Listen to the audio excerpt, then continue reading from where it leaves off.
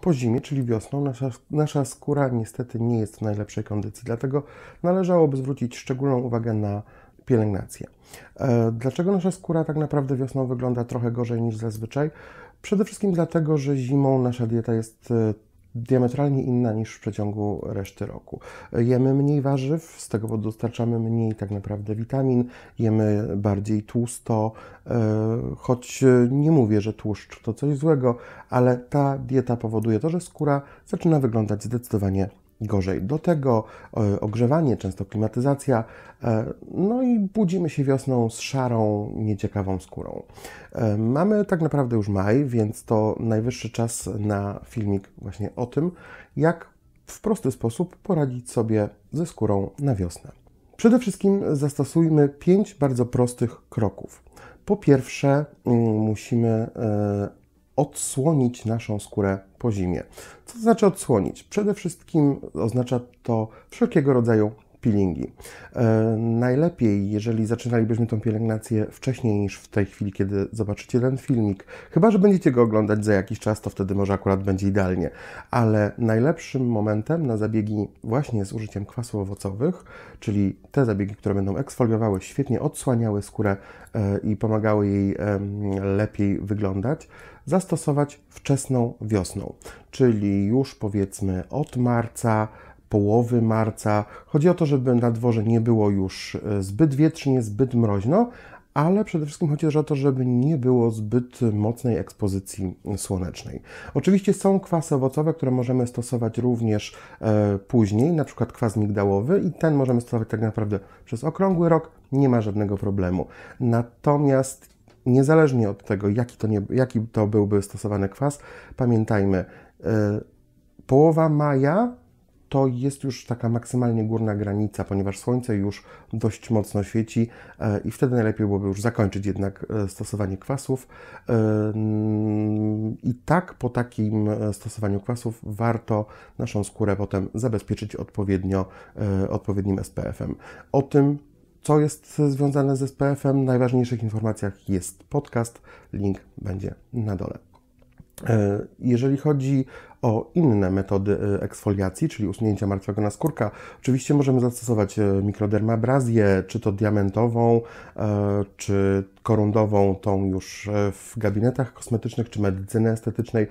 Możemy sięgnąć po coś bardzo fajnego, bardzo prostego, a mianowicie po peeling kawitacyjny. Peeling kawitacyjny, tu akurat w moim wypadku jest to domowe urządzonko, które jest naprawdę banalnie proste w obsłudze, na baterię. E, poza oczyszczaniem, e, nawilżaniem czy wykonaniem liftingu, oferuje nam właśnie przede wszystkim możliwość wykonania peelingu. Dzięki użyciu ultradźwięków e, peeling ten e, tak naprawdę jest banalnie prosty. Wystarczy zwilżyć skórę wodą bądź jakimś tonikiem, e, przejechać po niej głowicą. Głowica to jest to coś, co mam tutaj ukryte i ultradźwięki e, będą idealnie rozbijały tą wodę na, takie, na taką mikroparę tak naprawdę, która nie jest ciepła, ale będzie odrywała idealnie wszystko, co jest e, na naszym naskórku. Więc jednocześnie e, usunie martwe komórki, oczyści naszą skórę, no i zrobi to, co najważniejsze, właśnie odsłoni zdrową skórę. Także peeling kawitacyjny, świetna rzecz, nie tylko wiosną, ale wiosną warto nie zapomnieć o takim urządzonku, o takim zabiegu, zwłaszcza, że możemy go wykonać spokojnie sami w domu. Oczywiście są również urządzenia do peelingów kawitacyjnych, które mają kosmetyczki w salonach, one są troszeczkę bardziej skomplikowane, trochę bardziej dokładne i taki zabieg również warto wiosną sobie wykonać. E, jeżeli już mówimy o kosmetyczkach, o zabiegach wiosną, e, w mojej ulubionej marce profesjonalnej Mercor jest taki zabieg, który nazywa się Peel and Lift. Zabieg, który łączy w sobie delikatne kwasy owocowe, w tym glikolowy i e, dużą ilość witaminy C. Świetne połączenie, najpierw eksfoliacja, idealna maska algowa z dużą ilością witamin. Idealna sprawa właśnie na wiosnę.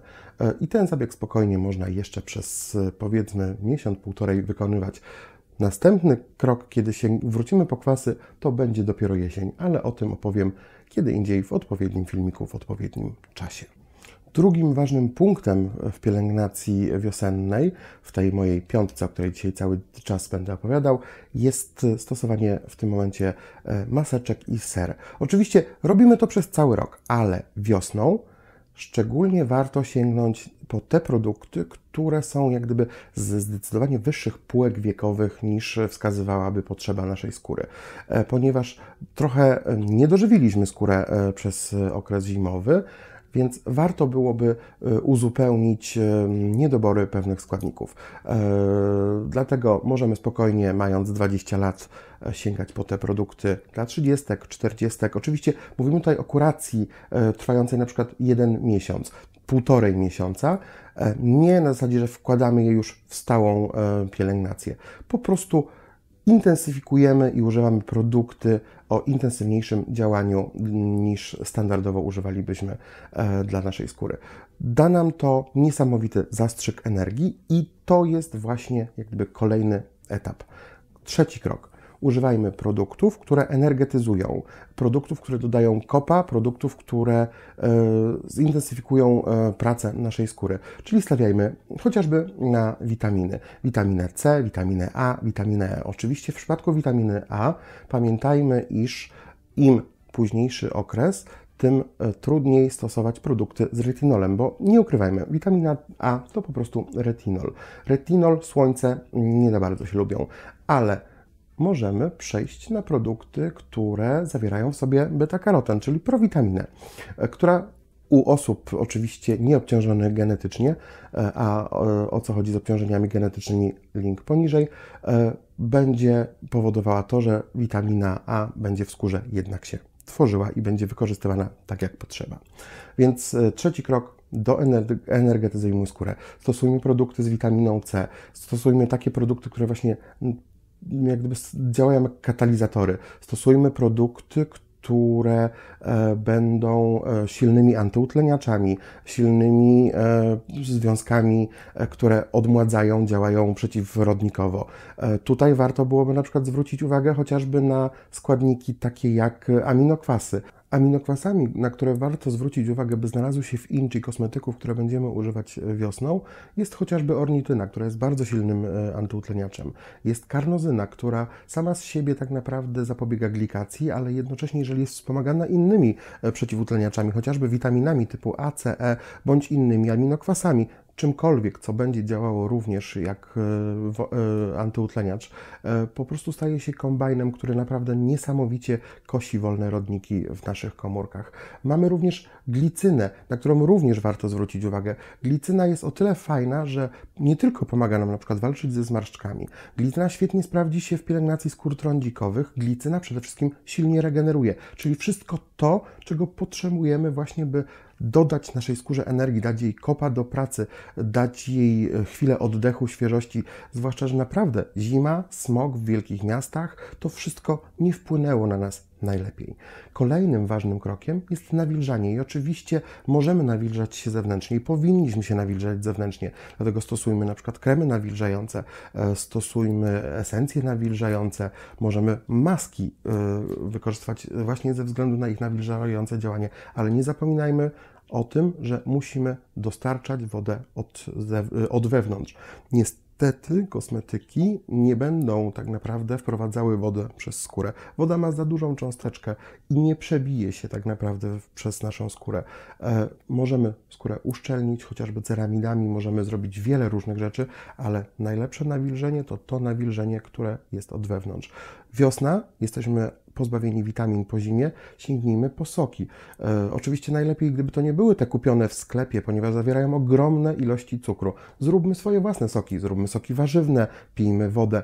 Naprawdę to pomoże nam świetnie doenergetyzować i nawilżyć naszą skórę. Ostatni, dość istotny krok to ochrona UV. E, wiosna niestety albo stety, bo na to czekamy, to promienie słoneczne. Tego słońca jest coraz więcej, to słońce jest e, coraz bardziej otulające nas, nazwijmy to w ten sposób.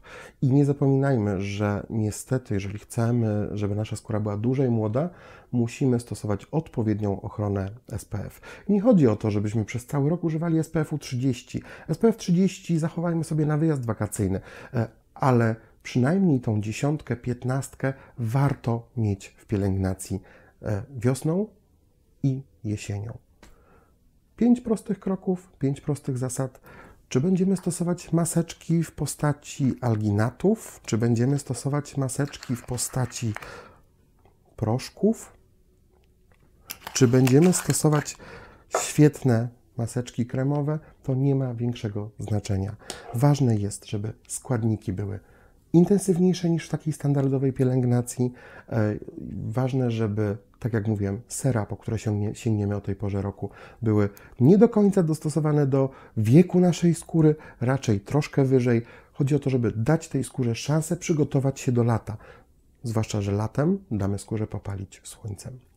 Oczywiście, jeżeli chodzi o ciało, fajnie byłoby sięgnąć po taką prostą rzecz, jaką jest chociażby naturalna szczotka i zacząć po prostu peelingi i masowanie się po prostu zwykłą szczotką. Tyle. Wiosna, pięć kroków. Będziemy młodzi.